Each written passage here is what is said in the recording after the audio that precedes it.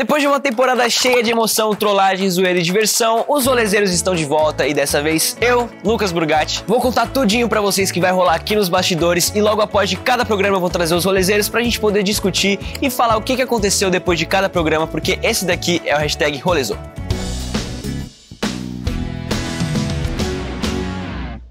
Gente, eu não sei nem o que dizer, apenas sentir, porque o rolê de férias está acabando. Eu não sei como é que eu vou conviver com essa informação. Beleza, galera, tô bem, tudo certo, então bora. E como eu ia dizendo, esse daqui é o último hashtag Rolezou e eu não poderia deixar de mostrar pra vocês os comentários dos nossos rolezeiros aqui nessa final. Então vem comigo que eu vou mostrar tudinho pra vocês. E galerinha, como esse daqui é o último hashtag Rolezou, decidi fazer um negocinho um pouquinho diferente. Perguntei pra cada praieiro e pra cada piscineiro qual foi o momento mais engraçado e mais desafiador nesses quatro rolês que aconteceram e se liga na resposta deles. Laurinha, qual foi o momento mais desafiador do rolê pra você? Eu acho que o momento mais desafiador do rolê pra mim foi a última prova de todas, porque assim, eu não acertei uma bolinha dentro do negócio, entendeu? Já foi complicado pra mim. Eu não tenho uma boa mira, e aí eu ficava sempre saindo, falava, essa vai, e aí ela saía pra fora. Acho que eu só acertei uma, então esse foi o mais desafiador pra mim. Vamos lá. 50, 50. Uh. Anderson, qual foi o momento mais desafiador do rolê pra você? Hum, difícil aí, mas acho que foi a última prova desse rolê que tava muito acirrado, uns 40 pontos de cada equipe. E no último segundo a Lele conseguiu jogar a bola dentro do lugar que precisava e a gente ganhou. E o momento mais divertido do rolê pra você? Conta. Cara, acho que todos, todos que eu participei foram, tipo, muito divertidos. Acho que a gente tá junto, acho que foi o mais divertido.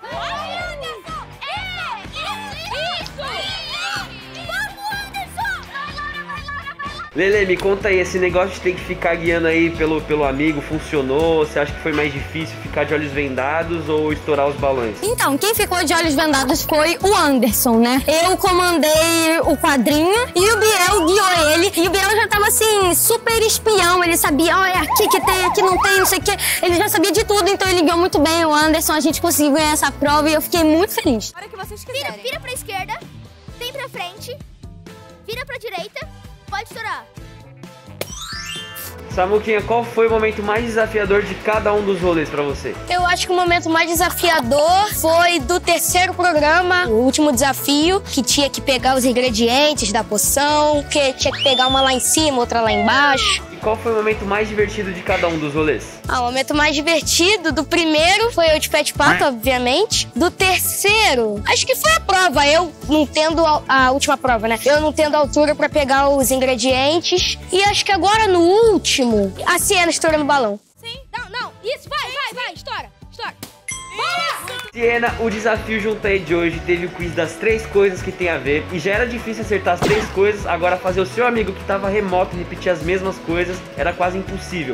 E vocês acham que mandaram bem? Como é que foi essa telepatia da equipe? O espírito Juntaê tava presente no desafio Juntaê. Olha isso que lindo. A telepatia tava aí, a conexão, todo mundo arrasou. É o que mais importa, né? Trabalhar em equipe, eu acho que a gente foi demais, a gente se divertiu muito. E qual foi o momento mais desafiador dos rolês pra você? Os rolês que eu participei, o primeiro eu acho que foi o último desafio, que a gente caía na piscina de bolinhas, tinha que formar a palavra. Foi complicado, mas a gente conseguiu. No segundo rolê, o futebol, acho que foi o mais desafiador também, foi muito difícil. E desse último rolê, que foi o último, tava todo mundo muito tenso, porque era aquele momento decisivo, né? O placar tava muito assim, muito acirrado, então aqueles pontos iam fazer toda a diferença. E o momento mais divertido do rolê pra você? Todos foram muito divertidos, assim. O que importa é que a gente tava rindo muito, se divertindo muito, dançando nas músicas, nos intervalos também. Mas um que eu ri muito foi o fute futebolha, porque eu caí. Qual que foi o momento mais desafiador de cada um dos rolês? Eu acho que no final foi o que me deu mais daquele nervosismo. Eu fiquei travando, meu coração tava super acelerado. Pena que ninguém podia encostar a mão. Mas um dos momentos mais tensos pra mim foi no final da última prova do primeiro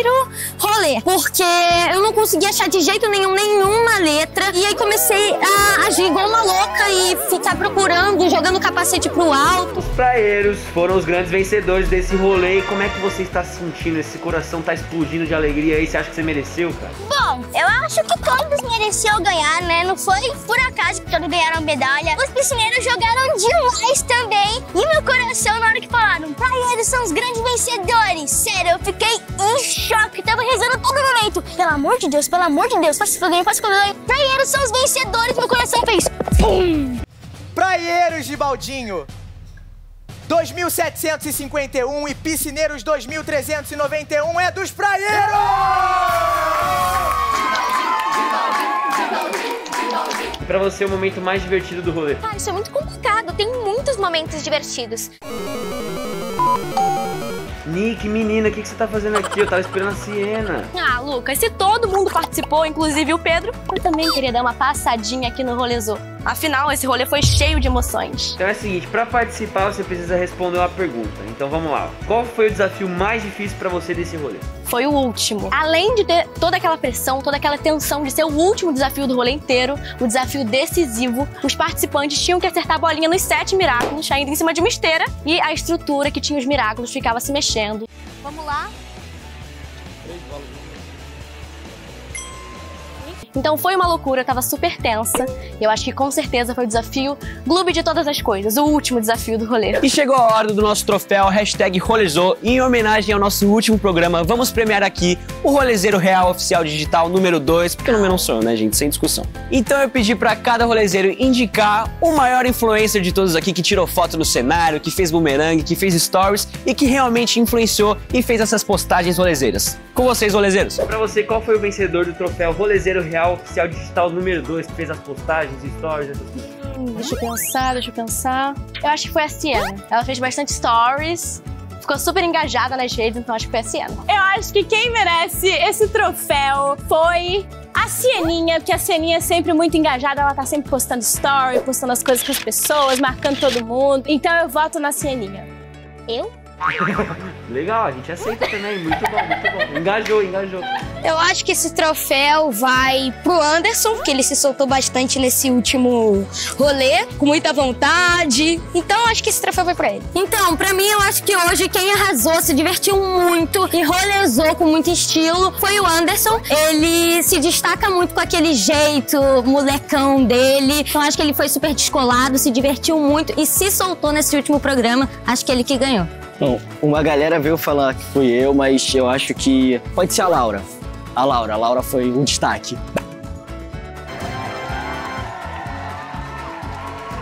Pessoal, esse daqui foi o último hashtag Rolezou. Espero que vocês tenham gostado da minha cobertura como rolezeiro real oficial digital.